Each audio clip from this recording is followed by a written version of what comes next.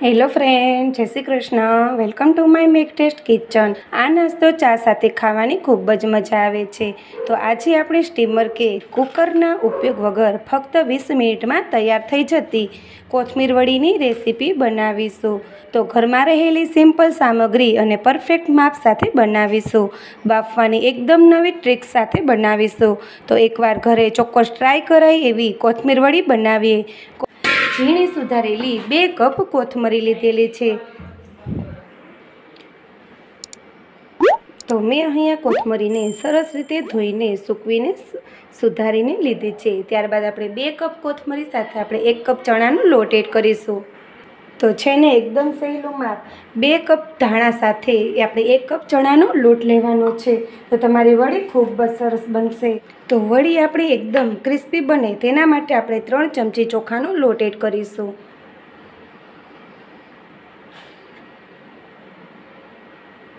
ચોખાના લોટથી વડી તમારી લાંબા સમય સુધી ક્રિસ્પી રહે છે. ત્યારબાદ આપણે એક ચમચી રવો એડ કરીશું. જો તમે રવોને સ્કીપ પણ કરી શકો છો, પણ રવો એડ કરવાથી ધાણામાં રહેલું જે પાણી હોય છે તેને સરસ રીતે એબ્ઝોર્બ્સ કરી લઈએ છીએ તો ત્યારબાદ આપણે વળીને એકદમ ચટપટી બનાવવા માટે મસાલા એડ કરીશું. મસાલામાં આપણે સ્વાદ પ્રમાણે મીઠું એડ કરીશું. હળદર પાવડર એડ કરીશું. અડધી ચમચી આપણે ધાણા જીરું પાવડર એડ કરીશું. અડધી ચમચી આપણે ગરમ મસાલા પાવડર એડ કરીશું. એક ચમચી જેટલા અજમા એડ કરીશું. અજમાને આપણે હાથની મદદથી ક્રશ કરીને એડ કરીશું. ત્યારબાદ આપણે હિંગ એડ કરીશું. હિંગ અને અજમા એડ કરવાથી વળી પચવામાં એકદમ સહેલી રહે છે. તો ત્યારબાદ આપણે એક ચમચી જેટલા તલ એડ કરીશું. તલનો નટી ફ્લેવર આ વડીમાં ખૂબ જ સરસ આવે છે. ત્યારબાદ મેં અહીંયા જીરું, આદું, મરચું અને લસણની પેસ્ટ લીધેલી છે. એક ચમચી જેટલી આપણે પેસ્ટ એડ કરીશું. તો બધી જ સામગ્રી મિક્સ થઈ ગઈ છે. હવે હાથની મદદથી સરસ રીતે બધી જ સામગ્રીને મિક્સ કરી લઈશું. જો હજી સુધી મારી ચેનલને સબસ્ક્રાઈબ ના કરી હોય તો સબસ્ક્રાઈબ કરી દેજો. સાથે બેલ લાઇકોને જરૂરથી દબાવજો. નવી રેસીપી વીડિયો સૌથી પહેલાં જોવા માટે. તો આ રીતે એકદમ સરસ ક્રમ્બલી લોટ આપણો તૈયાર થઈ ગયો છે. ત્યારબાદ આપણે થોડું થોડું પાણી એડ કરતા જઈને એકદમ સરસ લોટને આપણે તૈયાર કરી લઈશું. હવે આપણે થોડું થોડું પાણી એડ કરતા જઈને એકદમ સરસ લોટને લોટને આપણે બાઇન્ડ કરી લઈશું. પાણી આપણે એકસાથે બધું જ એડ નથી કરવાનું. થોડું થોડું એડ કરતા જશું અને એકદમ સરસ રીતે બાઇન્ડ લોટ આપણે તૈયાર કરી લઈશું.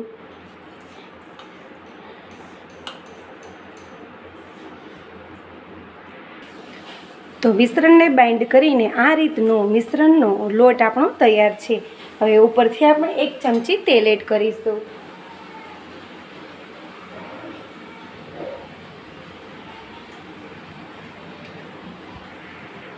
સારી રીતે બધી જ બાજુ તેલને કોટ કરી લઈશું. તો આપણો આ રીતનો લોટ તૈયાર હોવો જોઈએ. જો વધારે ઢીલો હશે તો અંદરથી વળી તમારી કાચી રહેશે. તો લોટને હવે આપણે સાઈડ પર રાખી દઈશું.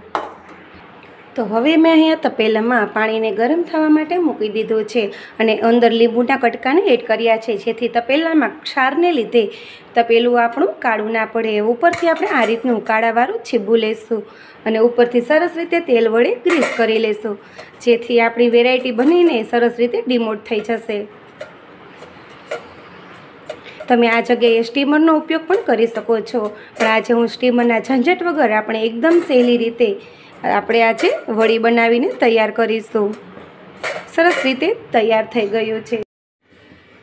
ત્યારબાદ આપણે વડીના લોટને આ રીતના રાખીને પાણીવાળા હાથથી સરસ રીતે પ્રેસ કરી દઈશું.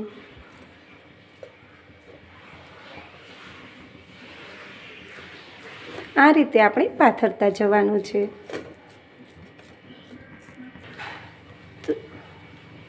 તો આ રીતના મિશ્રણ આપણું પથરાઈ ગયું છે. ઉપરથી આપણે સફેદ તલને સ્પ્રિંકલ કરી લઈશું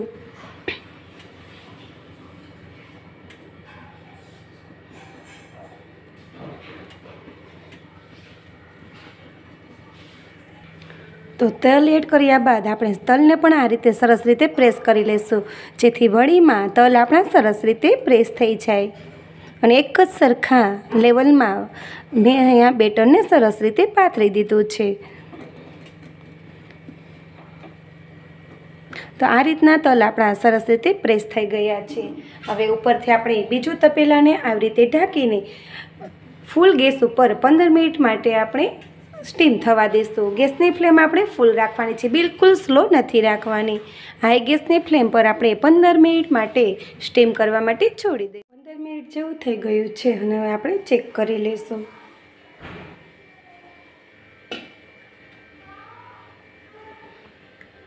તો આપણે ટૂથપીકથી ચેક કરીશું. તો તમે જોઈ શકો છો કે એકદમ સરસ રીતે સ્ટીક આપણી ક્લીન નીકળે છે. તો એકદમ સરસ રીતે વળી આપણી કમ્પ્લીટ છે. તો ચાલો હવે આ વળીને બહાર કાઢી લઈશું. તો હવે પાંચથી છ મિનિટ માટે આપણે આ પ્લેટને ઠરવા માટે રાખી દેવાની છે. ઠરવા માટે છોડી દઈશું. સરસ રીતે ઠંડુ થઈ ગયું છે. તો હવે આપણે સ્ક્વેરમાં પીસ કટિંગ કરી લઈશું.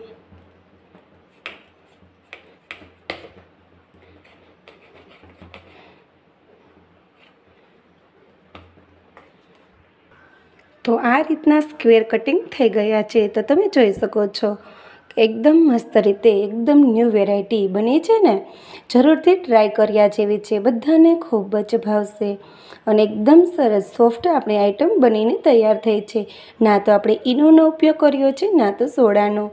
સોડા અને ઈનો વગર જ એકદમ સરસ વેરાયટી આપણે બનીને તૈયાર છે.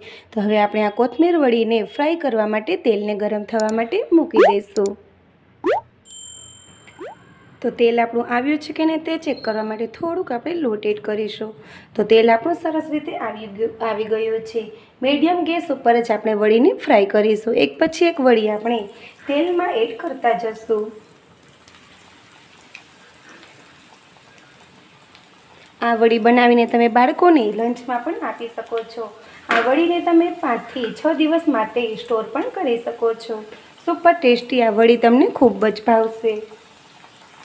તો હવે આ રીતના છારાની મદદથી હળવા હાથે વડીને આપણે પલટાવી લઈશું. જેથી ગોલ્ડન બ્રાઉન કલરની વડી એકદમ સરસ રીતે ચારે બાજુ થઈ જાય ને એકદમ ક્રિસ્પી વડી આપણે તૈયાર કરીશું.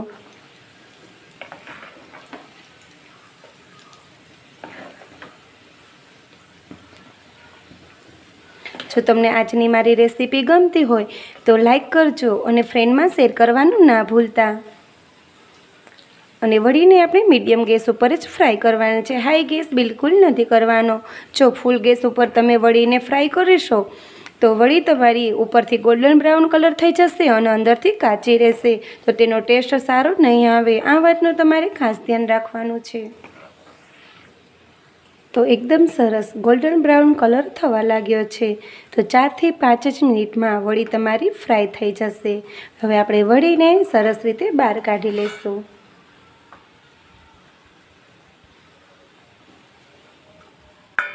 આપણે આવી રીતે અલગ ચારણીમાં કાઢીશું, જેથી એક્સ્ટ્રા ઓઇલ હશે, એ સરસ રીતે રિમૂવ થઈ જશે.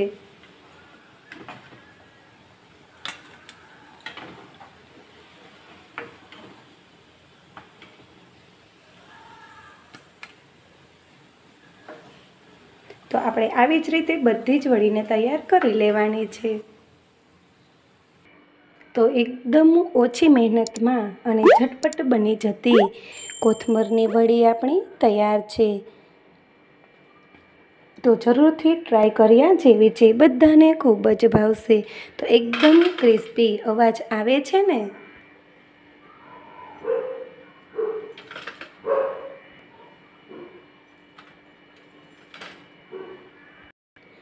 તો ખૂબ જ ઓછી મહેનતમાં સ્ટીમરની ઝંઝટ વગર એકદમ ક્રિસ્પી ભળી આપણી તૈયાર છે.